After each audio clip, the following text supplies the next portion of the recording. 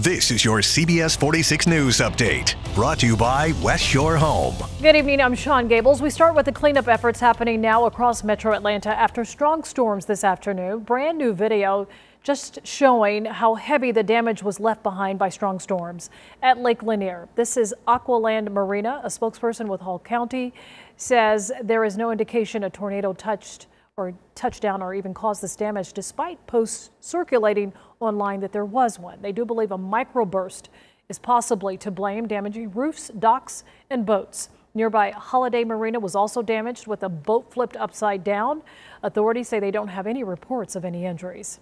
A man in his 80s alive tonight after a massive tree turned his SUV into a pancake. It happened on Spalding Drive in Sandy Springs.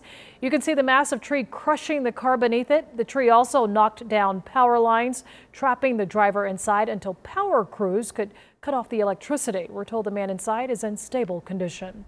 And take a look at this video of storm damage in Buckhead. You can see a tree came crashing down, ripping down power lines with it. Those power lines now left dangling on and over the road.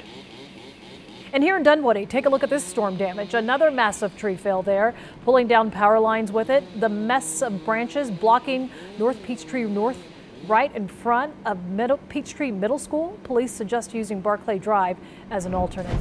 Now to the coronavirus, and starting today, the Georgia World Congress Center has reopened as a temporary COVID-19 treatment center. 60 beds are available, expanding up to 120 in the coming weeks.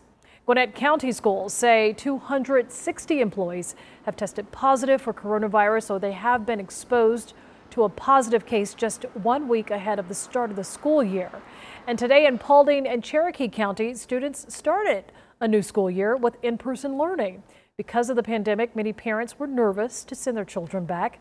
Cherokee County School District officials announcing they cannot guarantee social distancing for face-to-face -face learning, but have several cleaning and safety protocols in place for their students.